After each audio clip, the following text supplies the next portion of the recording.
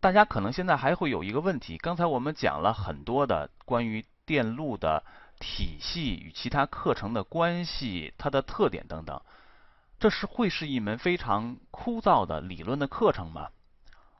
我要告诉你，绝对不是这样的。大家看，这是 Apple 在二零一三年发布的 iPhone 5S。那么 iPhone 5S 这样一个最前沿的消费类电子产品和电路原理是什么关系呢？我们来看。学完了电路原理课程，你可能要在两个方面再继续学一些其他的课程。一个方面你要学信号与系统，学完信号与系统以后呢，你可以再学通信原理这门课程。通信原理学完了以后，还有相应的一门课程叫做无线通信，这是信号处理这个方向。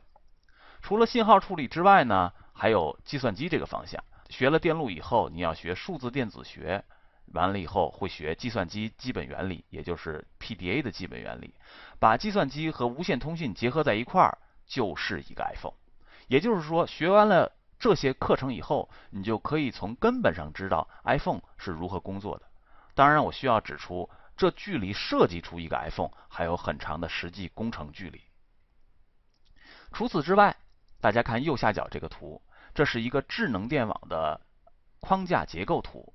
关键的是这个，用户可以和配电网进行能量和信号的双向流通，这是我们以前的电力系统所不具备的特点。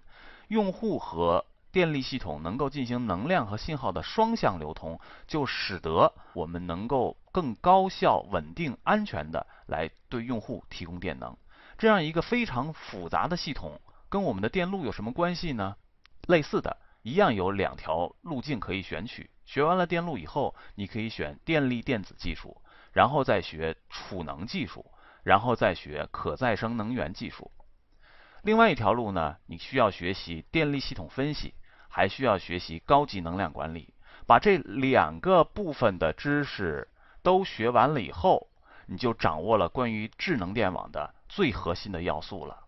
看吧。电路这门课程和你未来的能量处理和信号处理的实际应用是息息相关的。好的，我们这一讲就到这里。